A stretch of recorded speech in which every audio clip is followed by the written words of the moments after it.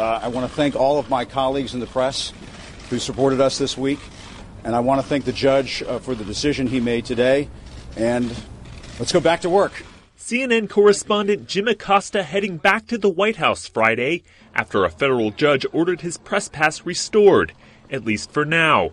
The ruling a rebuke to President Donald Trump for yanking the credentials after a fiery exchange with Acosta earlier this month. That's enough. That's Mr. enough. President, I- well, That's enough. ask- Judge Timothy Kelly, ruling on a lawsuit filed by CNN with other news outlets, said the White House had likely violated Acosta's due process rights.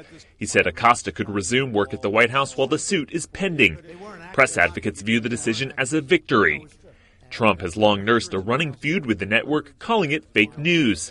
He erupted in anger last Wednesday when Acosta questioned him about his rhetoric referring to migrants from Central America as an invasion. Acosta also asked about Robert Mueller's Russia probe. I'll tell you what, CNN should be ashamed of itself having you working for them. You are a rude, terrible person. You shouldn't be working for CNN. Go ahead. I, I think that's unfair. You're a I've very rude person. The, The way White you House treat later accused Acosta of putting his hands on an intern attempting to take away a microphone. Releasing video of the incident, experts said had been doctored.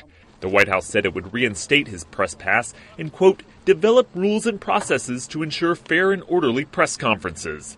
CNN said in a statement it looked forward to a full resolution in the coming days.